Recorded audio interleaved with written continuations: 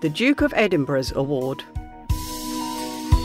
The Duke of Edinburgh's Award is a very well known and popular youth programme in the UK.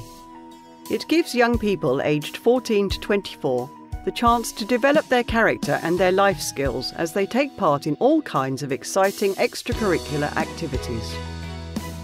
Today, 275,000 young people from different backgrounds are working towards the award at any one time.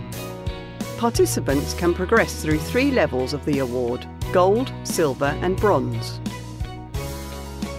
Activities are organised in four areas volunteering, physical, skills, and expedition. That could mean volunteering at an animal rescue centre or working in a charity shop for six months, getting a certificate in parachuting, doing a first aid or cookery course, or planning a rowing trip on the Danube in Germany. All this can take anything from three months to three years. Young people can pick exactly which activities they want to do in each category.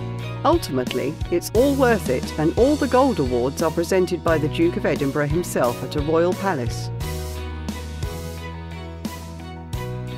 From beginning to end, it's great fun doing a Duke of Edinburgh's award, and employers, colleges, and universities get excited if they see it on a person's CV.